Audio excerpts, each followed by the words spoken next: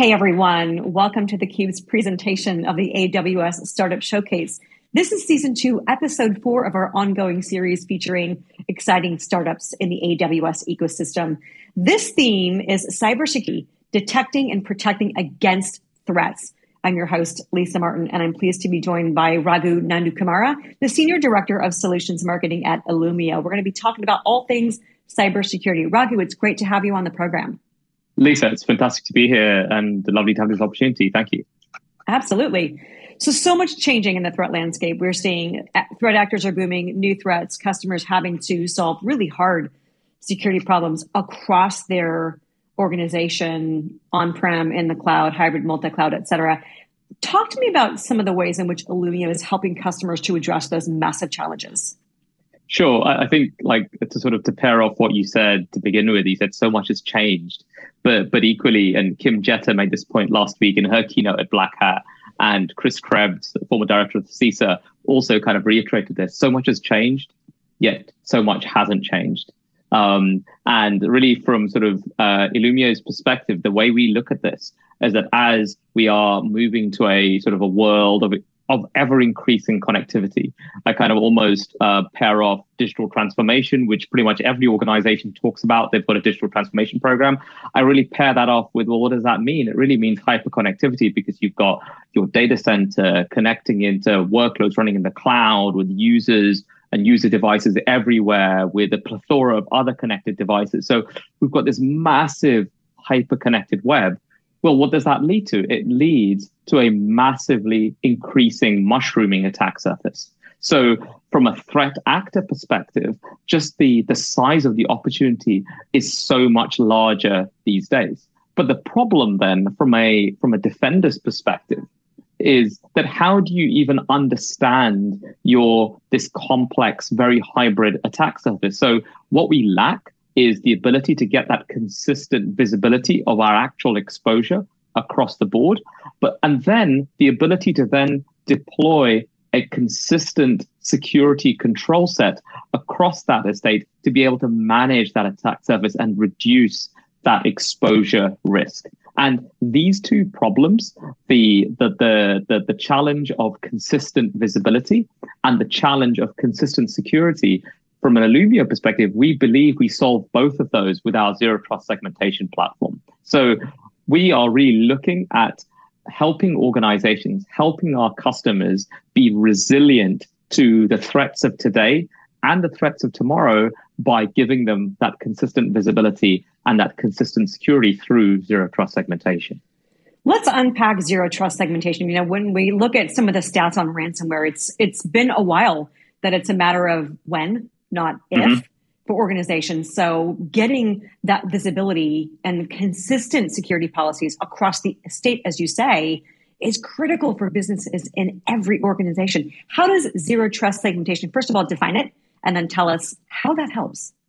Oh, ha- ha- happily, it's kind of one of my favorite subjects to talk about, right? So let, us start with zero trust segmentation and kind of sort of to, to put it into a, a context that's probably more easy to understand, right? Is that we see sort of zero trust segmentation as being founded on two pillars, right? The first is an assume breach mindset. And I'll come on to what we mean by that in a second.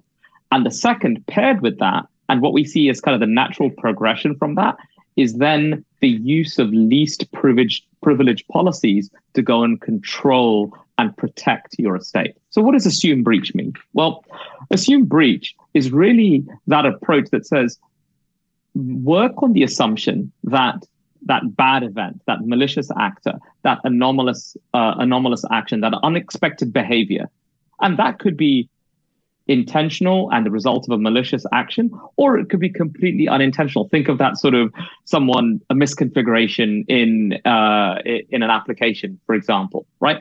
All of these things are essentially un- unexpected anomalous events. So start from that assumption that that's either happened or it's going to happen at some point, right? So when you make that assumption, right, and that assumption that that is happening on your internal network. So remember, right? Assume that that thing is already happening on your internal network, not it's on outside of the perimeter and it's got to still find its way in. No, it's it's really about assuming that that initial sort of thing to get onto the network and some anomalous event has already happened. If you started from that premise, then how would you dev- design your security controls? Well, the natural uh, reaction to that is, well, if that's going to happen, what I need to ensure is that the impact of that is as limited as possible is as restricted as possible. So how do I ensure that the that that is as limited as possible? Well, it's by ensuring that any access into the rest of my environment, the rest of the infrastructure, and that could be that hybrid infrastructure, private cloud, uh, public cloud, etc., is built on a least privilege access model. And that way, I can ensure that even if I have a compromise in one part of my environment, or potentially there could be compromises in different parts of my environment, that they're not going to impact the rest of the whole. So I'm containing the impact of that. And as a result, I'm protecting the rest of the infrastructure and able to maintain my resilience for longer. So that's how zero trust segmentation, well, that's what zero trust segmentation is and how it delivers better security for an organization. So preventing that lateral spread is really critical, especially as we've seen in the last couple of years this acceleration of cloud adoption, cloud migration. For mm-hmm. customers that are in transit, if you will, mm-hmm. ZTS, why is it so fundamental? Well, I think you, you you you expressed it brilliantly, right? That if you look at any um, any sort of malicious uh, malicious attack, right? Whether it's ransomware, whether it's uh, an advanced attacker like APT style attack over the last sort of decade, right? A common part, a common tactic those attackers use in order to proliferate and in order to move to either spread that attack as far and wide as possible in the case of ransomware, or in the case of a very targeted attack, to go and find that trophy target. One of the key tactics they leverage is lateral movement. So, from a defender's perspective, if you're able to better detect and ideally better prevent upfront that lateral movement and limit it, you're you are defending yourself. Uh, you're proactively defending yourself from from this threat. So, what does that mean then? From the perspective of organizations that are moving into cloud, so organizations that are say on that journey to transition into AWS, right, whether from a right, I'm going all in on AWS and ultimately leaving my private data center behind, or sort of more likely where my applications are now in this hybrid deployment model where I have some on-prem, some in the cloud. So there, it's even more important because we know that things that are deployed in the cloud can very easily sort of get exposed to the internet, right? We've seen that with a number of sort of different um, customers of cloud where a misconfigured security group suddenly gives access to all resources from the internet right or gives access on high risk ports that you didn't want to have uh, that you didn't want to be able to access so here zero trust segmentation is so important because if you come back to the fundamentals of it it's around consistent visibility and consistent security policy. So what do we provide? Well, from an Illumio perspective and through our zero trust segmentation platform, we ensure that as your application, as your key resources, as they transition from your private data center into the cloud, you can have exactly the same visibility and exactly the same granularity of visibility over those interactions between your resources as they move into the cloud. And the most important thing here is that it's not in cloud, we realize it's not just about adopting compute. It's not just infrastructure as a service.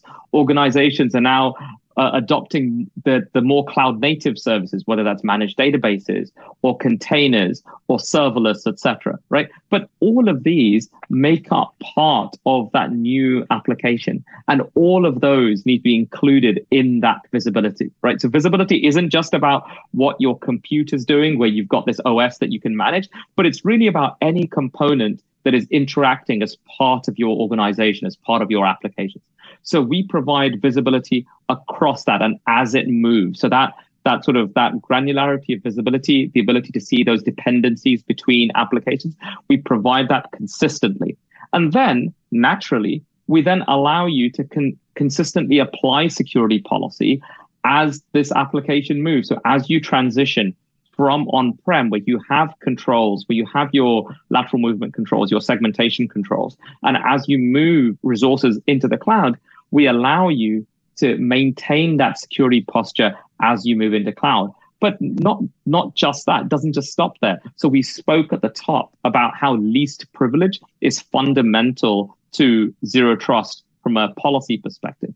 What we give you the ability to do, give our customers the ability to do as they move into AWS is compare what they have configured on their security groups. So the way they think they've got the right security posture, we compare that to what the actual usage around those resources is. And we provide them recommendations to better secure those security groups. So essentially, always tending them towards a more secure con- configuration such that they can maintain that least privilege access over the around their critical resources. So this is the way our technology helps our customers move and migrate safely and securely from on-prem into AWS. That's a great description, very thorough in how you're talking about the benefits to organizations. You know, as we think about cloud adoption, migration, cybersecurity, these are clearly C-suite conversations. Are you seeing things like zero trust, zero trust segmentation rise up to the C-suite and maybe even beyond to the board? Is this, from a security perspective, a board level issue? Oh, uh, absolutely. And and Chris Krebs, uh, former director of CISA, last week said security must absolutely be a board level topic. It's not something that needs to be sort of in the weeds of IT uh, or just sort of under the purview of what the, the CISO or the chief security officer is doing. It needs to be a board level issue.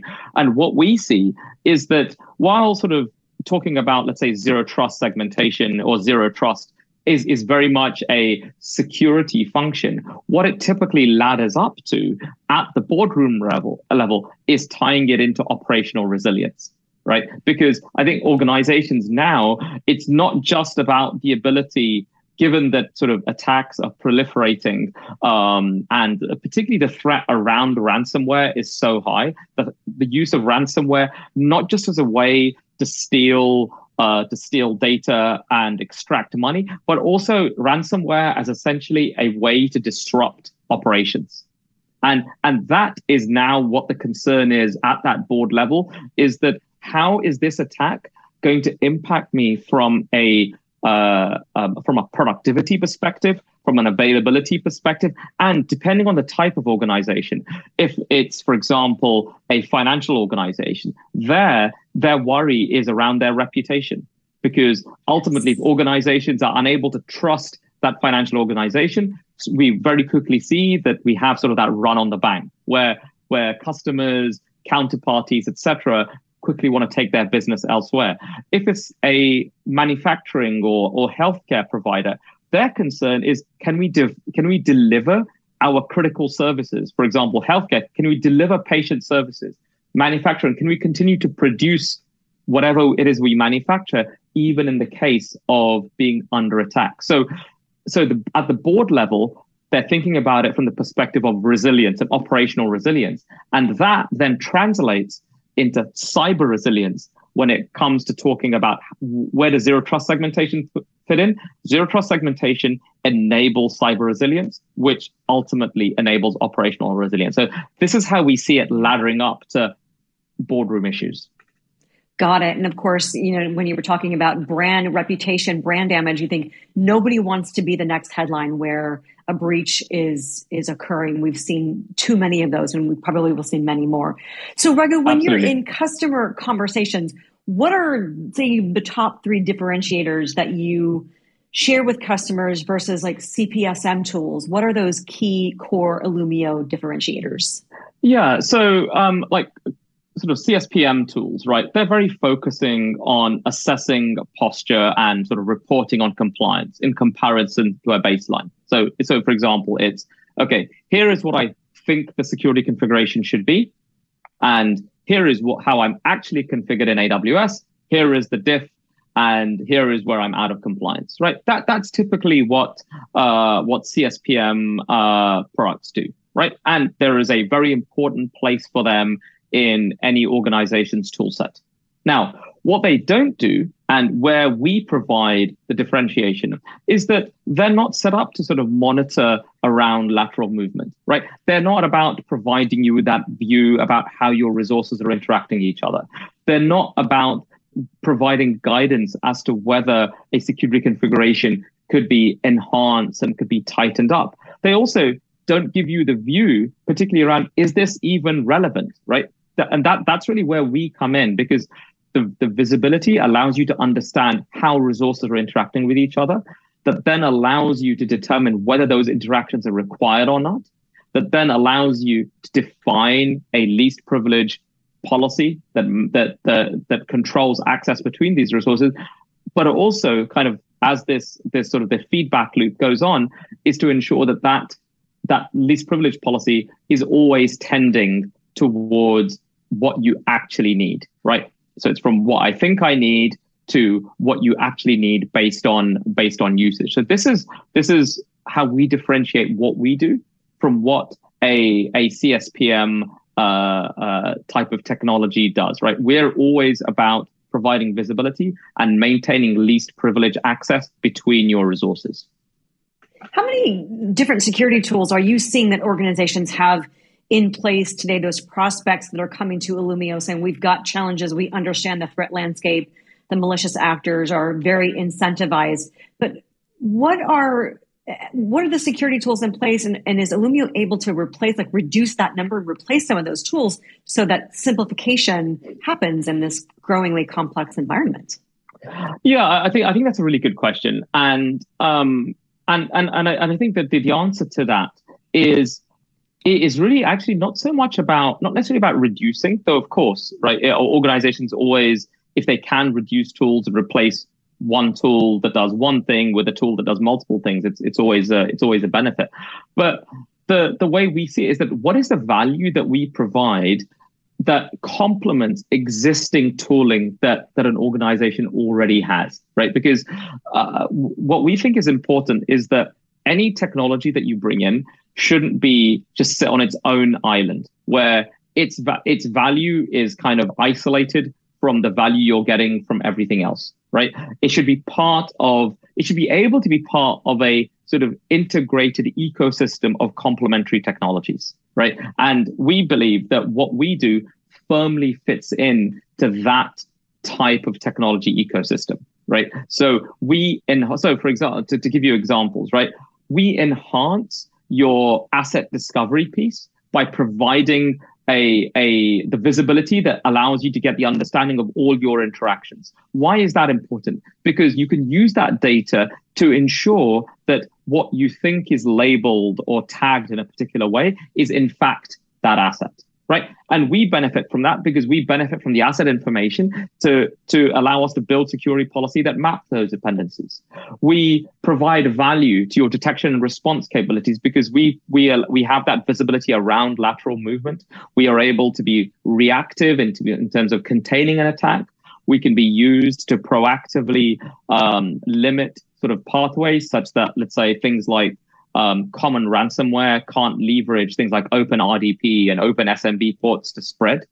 Um, we can go and in, uh, and inform things like service maps. So if your organization is sort of heavily invested in like service mapping and feeding that back into the um, um, sort of uh, your uh, uh um, ITIL tool sets or ITSM tool sets, etc. Right? We uh, we can provide data into that to enhance that particular experience. So, so there are lots of there is lots of value beyond sort of what our own product value proposition is that we bring into your existing technology ecosystem, which is what which is why we think we, we kind of add value into any deployment over and beyond just sort of the things that we do around visibility and consistent security. Yeah, what you were just describing so well, the first thought coming to my mind was value add. There's a lot of synergy yeah. there, synergies between uh, other technologies. You mentioned the complementary nature that seems like a, a huge value impact for organizations mm-hmm. across any industry. Last question from a go to market perspective where can prospects go to learn more? This is available in the AWS marketplace, but talk to us about where they can go to learn more.